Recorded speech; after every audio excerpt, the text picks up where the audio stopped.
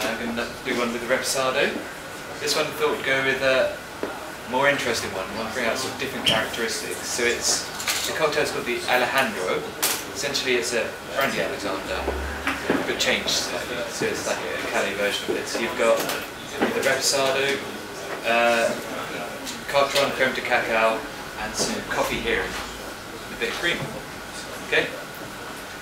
So this one, just start off with 30 mils of the Repo. Alejandro.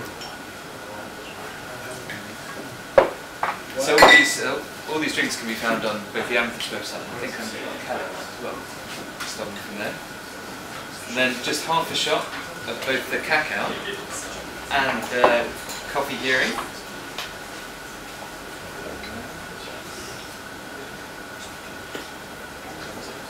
And then a full shot of cream. Yeah, exactly.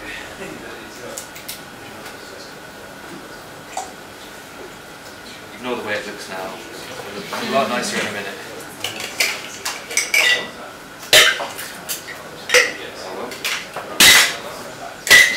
Off my shoulder.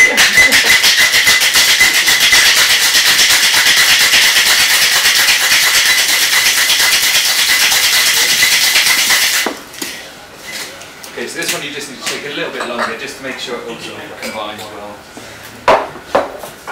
And yeah, it's just strained. A lovely one to have sort of after dinner in there.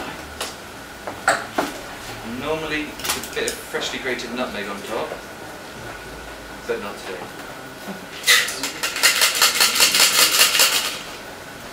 Okay. There you go.